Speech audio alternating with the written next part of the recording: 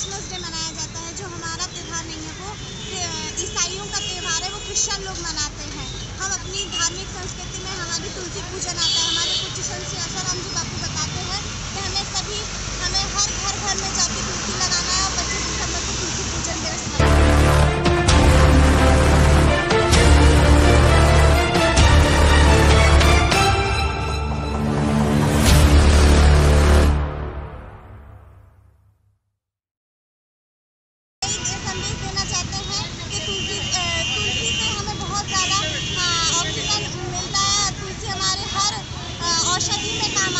तुलसी के बिना हमारा कोई भी काम